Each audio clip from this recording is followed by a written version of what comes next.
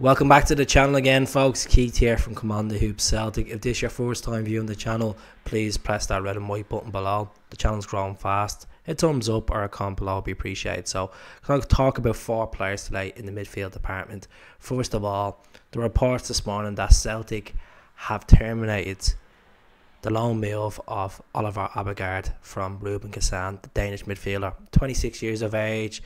We took him on loan from the Russian Premier League basically back in August. Reportedly, the fee to the end of the season was going to be 1.8 million of the loan move, and the deal has terminated. 156 minutes for Celtic overall. He's collected since now.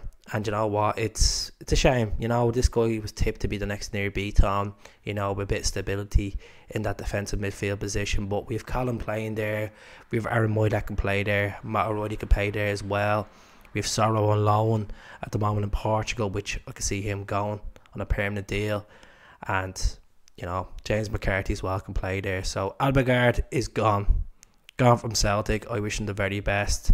Obviously, there's a bit of a scenario going on with Russian teams, with FIFA and UEFA at the moment, or the Ukrainian war. So I don't know where he's going to go off to. Is it a case that he'll go back and play in the Russian Premier League, or is a case that he'll go to the Danish League? I really don't know, but I wish him the very best because he obviously wants to get back into that Danish side, and the Danish side is pretty decent. But Matt O'Riley, fingers crossed, he'll get his senior call up for Denmark soon as well. This is a big year for Matt O'Riley. David Turnbull, I discussed on the channel last night. Look at David Turnbull, 23 years of age. We signed him from Motherwell back nearly almost three years ago obviously the original time you meant to sign him, that injury accords. But he's played over 72 times for Celtic and, you know, he's been more featured as a sub. His contract's up in May 24. What would you like to see happen with David Turnbull? I discussed David Turnbull on the podcast last night. My honest opinion of David Turnbull is I just think he just doesn't suit Celtic. He's a cracking free kick taker. You know, he's he's quite good with the ball, but he just he's missing that string of pace. Some people might argue with me in the comments and say, "What about Aaron Mooy? He's missing that string of pace."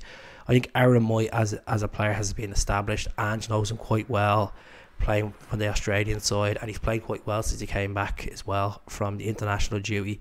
Even when Callum was out, Aaron Mooy played quite well.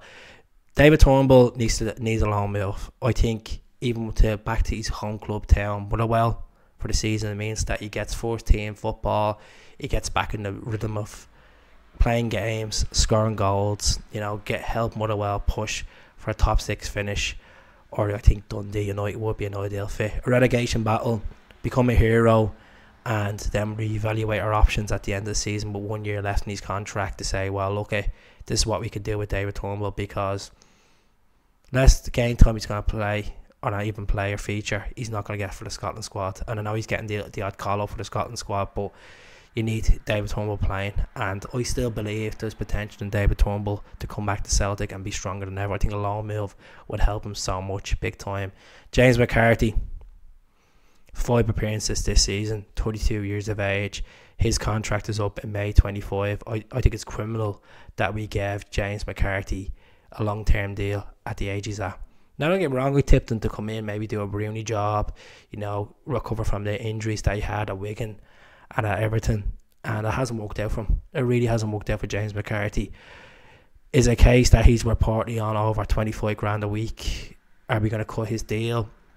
Sunderland were linked, last linked to him in the last window. I think a, a couple of championship sides will be linked to him in the next couple of weeks. I think it would be great to send him along because he doesn't benefit Celtic yeah, he may be a part of the dressing room, might be good in training, but we need a player that's playing that we have hopes about. And James McCarthy, it's an it's a no for me. I just try to get rid of him as soon as possible, terminate the contract, pinch it out, you know, definitely.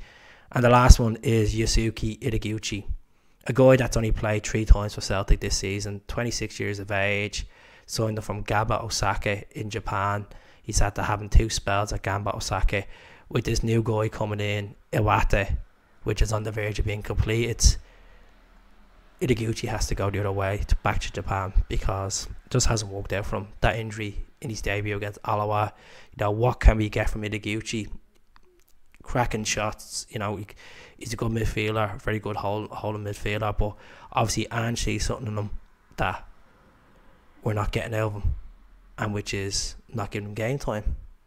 So let's move him on. Um, I wish him the very best. Like this time last year, we were basically announcing the sign of Reo Hatate, Daizen Maeda on loan, and Yusuke Ideguchi, and it hasn't worked out for Ideguchi. But regards to the rest of the Japanese boys, it's worked out well. Reo Hatate is striving, Maeda's playing well. Kyogo's been outstanding. Kobayashi's going to hopefully get a, a, bit of time under the belt. And then Iwata coming in as well. It just opens the door. Like, Ange needs to shuffle the midfield department in this window. Send a few on loan. Get rid of a few because I just feel like there's a few duds there. Even though we're a winning team, there's a few duds there that we can clear out, get off the wage bill, and focus on getting players in that actually can play for the short and are valuable. So that's my honest opinion on these players. Let me know in the comments and I'll speak to you all soon. Hell hell.